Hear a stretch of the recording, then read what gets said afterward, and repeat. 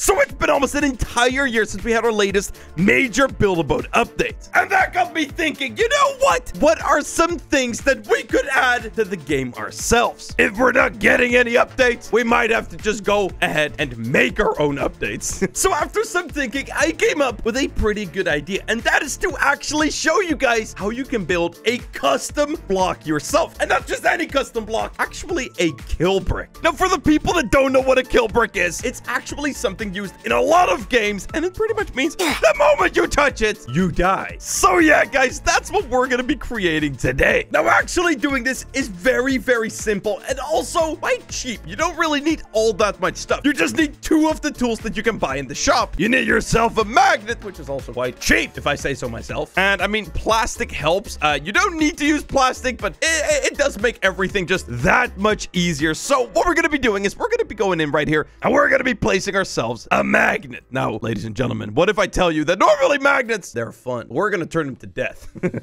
so what we're going to do is we're going to go right here. We're going to place ourselves a block. And that one messed up, so we're going to place another one. There you go. Then we're going to jump on top of the block. A little something like so. And we're going to be doing this for as long as we desire. The longer you do it, the more death the block becomes. And I think that should be just about enough. Then I'm going to go in right here and I'm going to anchor the block off. And I know nothing crazy happened other than the fact the moment I touch that block, yeah, it goes uh, pretty wacky and wild. Now, guys, we got a little bit unlucky because what you typically want is for it to launch you downwards. It actually launches you so fast, you fly through the floor straight into the void. But actually, there was something we can do to combat that, to actually make sure that we always fly into the void. And that is to actually add an anchor mode, to add a huge part like this and make it go in a little triangle like that. So now, if we get launched upwards, we actually get launched into the void.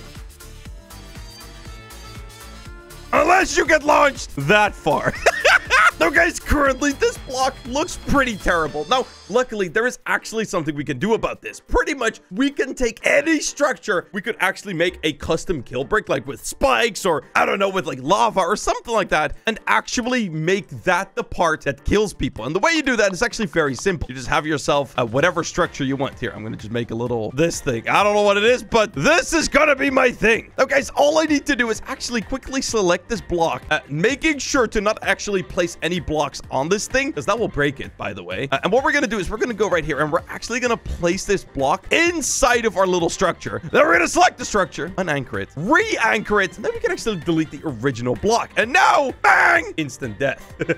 yes, guys, we have just created an instant death block. So yeah, it literally will just instantaneously kill you. There is nothing you can do other than die.